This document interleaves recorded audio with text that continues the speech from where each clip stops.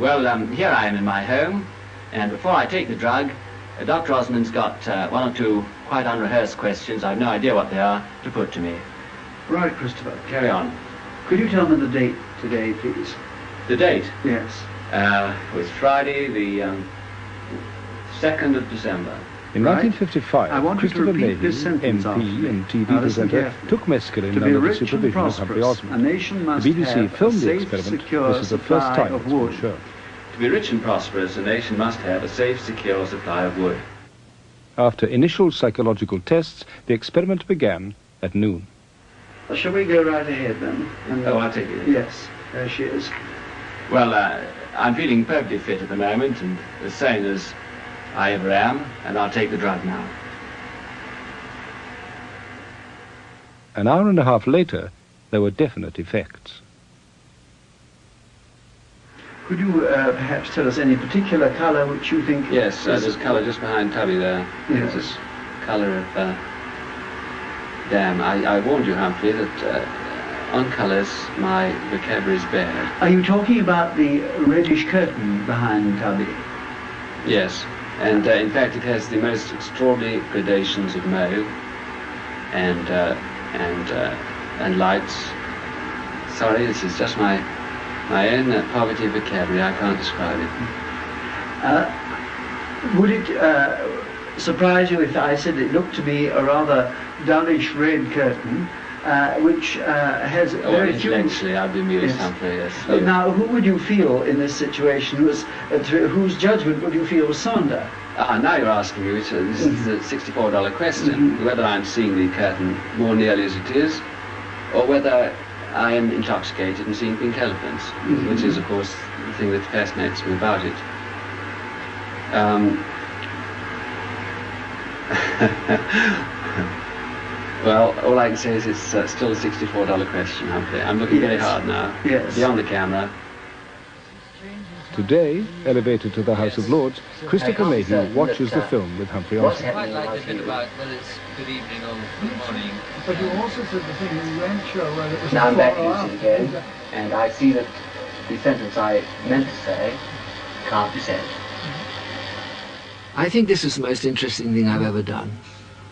And I say that after 30 years in which the whole ghastly business, you know, has been depreciated, when drugs have been abused, when this is our major social problem. I mean, I do know all that, and I hope and pray it never helped anybody to experiment with drugs. Nevertheless, the actual experience seems to me to have been profoundly interesting and thought-provoking.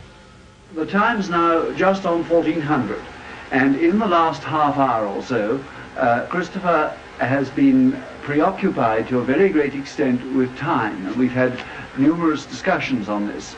In the interval, he uh, tried to instruct me as to how to work his recording machine, and unfortunately we were quite unable to work it. He has also been listening to a certain amount of music. Now I'm going to ask him once more to go over the Babcock sentence that I did and also to take away seven from a hundred. Now Christopher, would you be prepared to do that for me, please? Well, you've got me at what I would call my um, uh, period of time when I am capable of doing it. Right, well I'll now repeat the sentence. To be rich and prosperous, a nation must have a safe, secure supply of wood. To be rich and prosperous, a nation must have a safe, secure supply of wood. I got the two right. Well done. Now would you like to take away seven from a hundred again? Uh, 93, 86, 79, 72, 66, 60, uh, 72, whatever it is, uh, 65, uh, 58, 51, uh, 40, I can see you're interested still, 44, uh, 37, 30, 23, 23. Now I'm off again, Humphrey. Mhm. In, in my period of time, I'm, uh, I'm, I'm off again for a long period, but you won't notice probably that I've, I've gone away at all.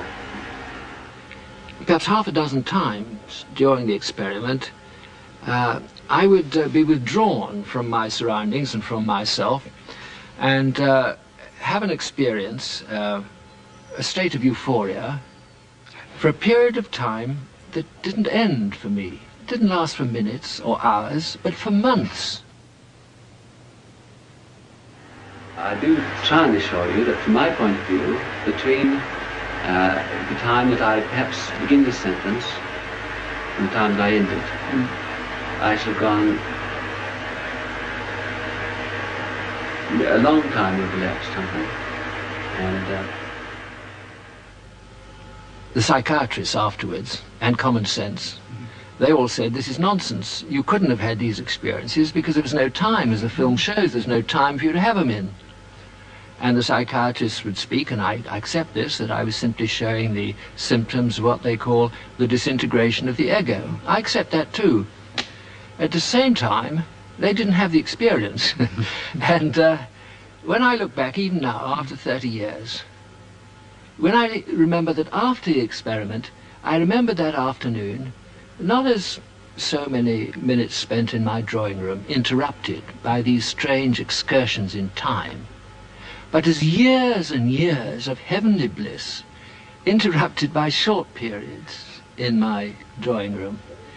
When I recall it, and when I recall various uh, other symptoms, I think the simplest explanation is that I had these experiences, that they were real, and that they took place outside time.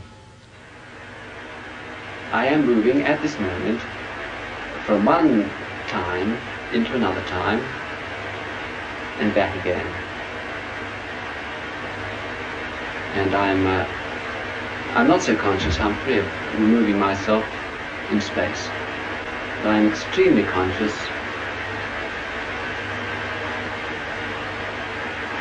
of moving in time, of things having no succession,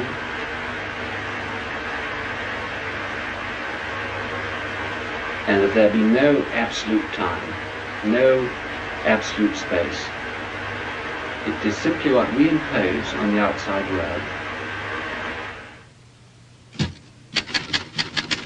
The BBC was worried. Could the film be broadcast? Mayhew himself was all in favour, but viewing the footage it was hard to judge the true significance of his experience. Expert advice was called for and a special committee of psychiatrists, philosophers and theologians assembled. Amongst those shown the film was Canon Besser from Cambridge University. From a religious standpoint, he felt Mayhew's mystical adventure had been obtained on the cheap.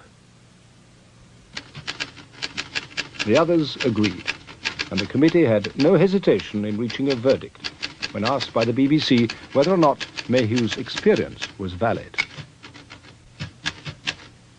The film was never shown. I think that uh, the experience was valid. I, I think, uh, for the reasons I've given, that uh, you can dismiss it as a dreamlike hallucination which lasted a fraction of a second, owing to the disintegration of my ego and so on. Or you can say with me, it was a real experience which happened outside time. And that is my view. And that is, and for various sort of associated symptoms, I would say that uh, uh, on that occasion, by a shortcut, I did visit the world known to the mystics and to some mentally sick people, and therefore, to that extent, I'd say it is valid. Huxley, too, was attacked by theologians. The Roman Catholic scholar R.C. Zaehner wrote an article dismissing the doors of perception. He argued that wide differences in people's response to the drug cast doubt on individual claims to enlightenment. So that he could write with authority, Zaehner arranged to take a dose of mescaline himself. Overcome by hysterical laughter, he found the experience to be spiritually empty, and he concluded that Huxley's claims had no more credibility than the delusions of a lunatic. Zaehner maintained that the visions of the great Christian mystics were something entirely different. Those who believe in the value of psychedelic drugs see no clear distinction.